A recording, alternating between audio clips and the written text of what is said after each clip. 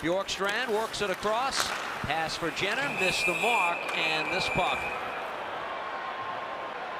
strikes Janne Kuokkanen. And the Devils staff quickly off the bench to tend to Kuokkanen. It was on the near side here. I didn't see it, Cans, but we'll take a look at the replay and hope Kuokkanen is okay because he went down hard and I'm sure. Let's take a look right here.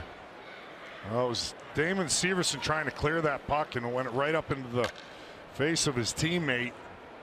We've seen that happen too often lately to Devils players, and let's hope he's okay or was able to shake it off eventually, but he'll go to the dressing room early. As there's 42 seconds left in the first period and a minute eight left